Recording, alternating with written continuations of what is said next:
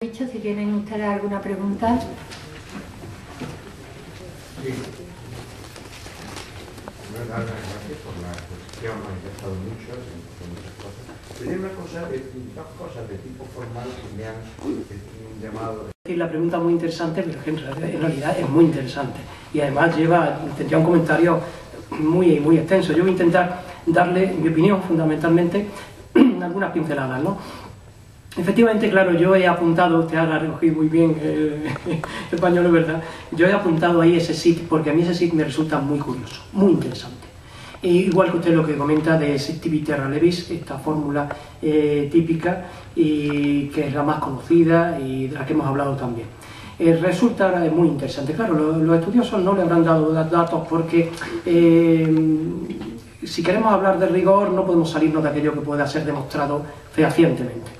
Eh, pero ya que usted me pregunta, y aquí digamos estamos ya fuera de, la exposición, a mí me gustaría darle mi opinión, una opinión que evidentemente eh, bueno, pues viene de la experiencia y, del conocimiento de la familia NEA en general y de un poco del ambiente en el que se está desarrollando todo esto, pero que no se puede contrastar con los datos, por lo tanto no puede ser eh, afirmado de forma científica. a mí me resulta muy interesante ese sitio. Claro, Em, no se puede demostrar que Lucio Anneo Seneca esté detrás de ese sit, o quizás su padre, pero sí algún miembro de la familia Annea que todo en general tenía una formación intelectual de primer orden. Yo creo que hay algún miembro eh, de los Anneos cordobeses, que puede ser el propio Lucio Anneo Seneca, su hermano Novato, su hermano Mela, el padre o incluso la madre de, de Seneca Ebria, que sean los que al final quieran eh, marcar este, este, detalle del SIT, porque esto no es normal. Esto, como usted dice, esto no es habitual. Ya de hecho, la, vamos, lo que es el SIT Tibitar Levis ya plantea problemas, como usted muy bien apunta, si encima cambiamos el orden de ese SIT Tibitar Levis y el SIT lo ponemos al final, y además con todas las letras. Observe usted cómo ahí aparecen las tres letras de SIT.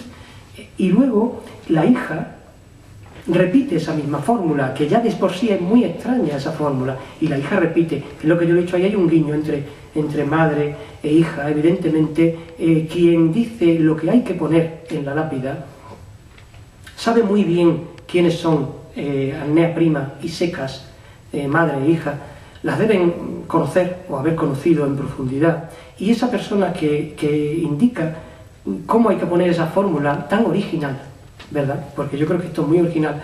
Esa persona eh, tiene que ser alguien de la familia Nea, alguien con una cultura interesante. Observe usted, por ejemplo, cuando hemos hablado de Lucio Séneca, de Verborum y de Berberibus, ese juego de palabras, ese jugar con el lenguaje, porque Séneca está considerado un filósofo, es un filósofo fabuloso, un estoico, el pensamiento, su postura ante la esclavitud no puede ser más original ni más lúcida, pero no solamente un filósofo, es también un orador. De hecho, cuando Agripina lo llama del destierro, lo llama en calidad de orador. Es un hombre que maneja el lenguaje a la perfección. Es un hombre que incluso podríamos decir que, en Roma, que la Roma desde entonces eh, impulsa un nuevo estilo literario, por el que es criticado en algunos aspectos, dicen que su estilo es muy recortado. Es un estilista, es un intelectual, es hasta un científico porque escribió también libros sobre historias naturales y etnógrafo porque se escribió, aprovechando que estaba en Egipto, escribió una etnografía sobre los egipcios que se ha perdido, es un intelectual tipo renacimiento, tipo Aristóteles, es un hombre de una categoría indudable. Quizás no tuvo que ser él personalmente el que dijo vamos a jugar con, el lenguaje, incluso aquí en un epigrama, en un epitafio, ¿no? Eh, pero sí quizá algún miembro de su familia, un hermano, eh, su madre, su padre o cualquier eh, personaje cercano a la familia con este nivel cultural. Esto no se puede justificar científicamente, pero yo creo que hay ciertas evidencias que por probables y por lógica, por el sentido común, podemos afirmar, ¿no? y esta es una de ellas.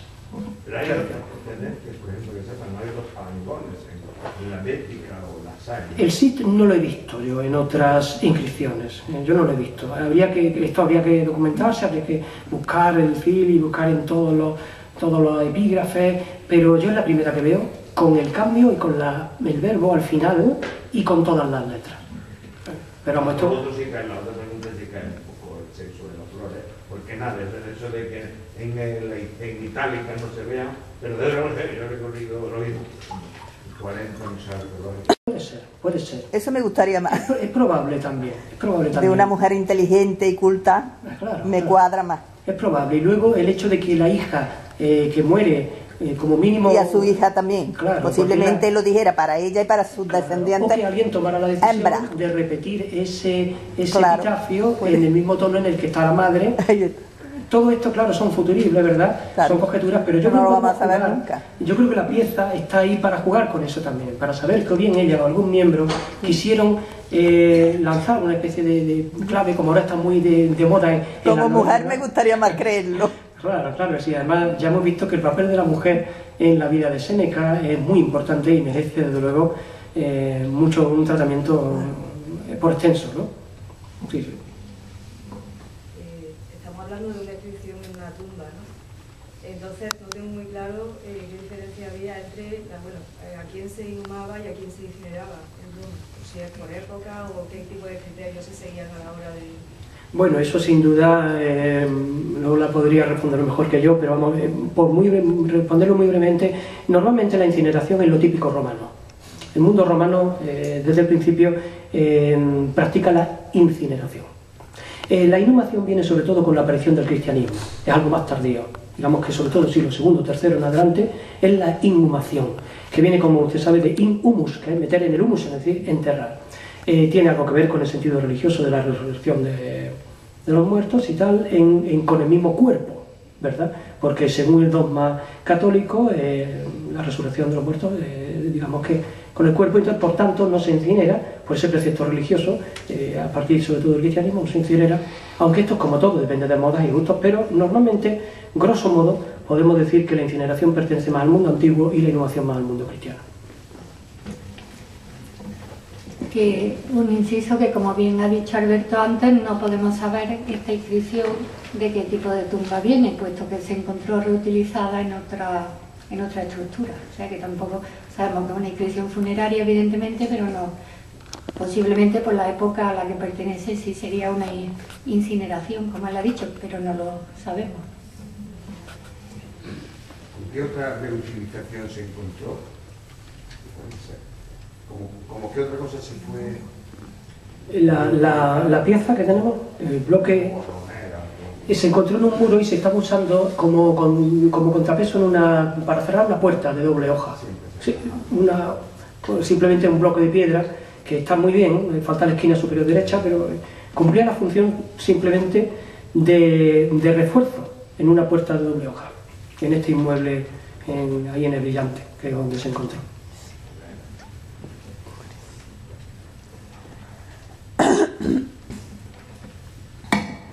Si no hay ninguna pregunta, pues muchísimas gracias por su asistencia, muchas gracias Alberto, porque yo creo que nos hemos aprendido mucho hoy también. Y nada, les invito a la próxima pieza arma que ya tendrá lugar en enero de 2013, el último domingo del mes, como siempre. Muchas gracias. Venga.